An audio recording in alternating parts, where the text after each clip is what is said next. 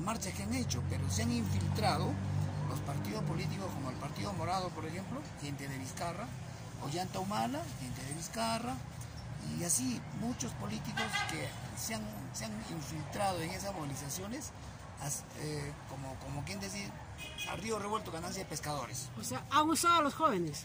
Eh, yo no diría usar, porque tenemos que respetar a nuestros jóvenes. En realidad, nuestros jóvenes, con toda razón, han demostrado de que este país se pone insoportable por la corrupción. Entonces, pero vemos a un Vizcarra, por ejemplo, cómo capea, en parte dice el Tribunal Constitucional, decía que era la, máxima autoridad, la autoridad suprema en, temas de la constitución política. Ahora vemos a un Vizcarra que dice que la constitución política deja muchas dudas. ¿En quién podemos confiar?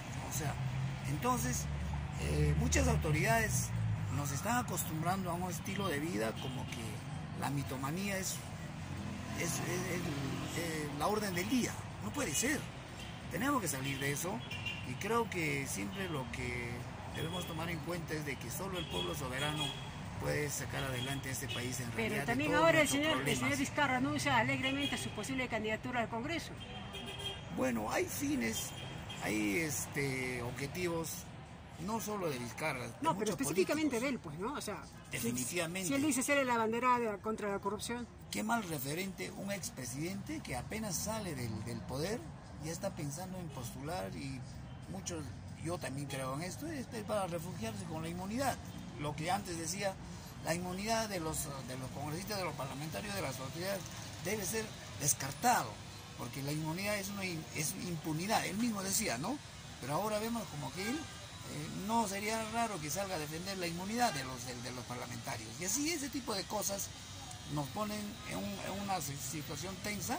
Repito, creo que los ciudadanos y algunos políticos y algunas autoridades que todavía no creemos que este país tiene que salir adelante, porque se vienen los problemas de la crisis económica, la crisis laboral, la crisis en empresarial en el tema de los micros y pequeños empresarios, porque los grandes se han beneficiado con el señor Vizcarra, imagínense, se han repartido los 60 mil millones, estoy hablando de 60 mil millones, ¿ah? no estoy hablando de millones.